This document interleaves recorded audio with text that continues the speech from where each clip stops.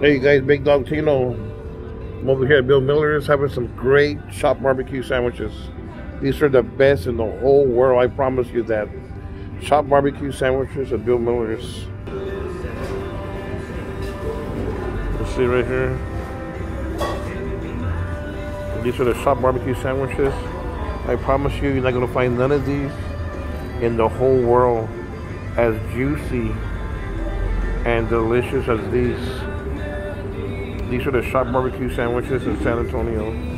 Hot, fresh french fries, sweet tea. I mean, guys, this is the best.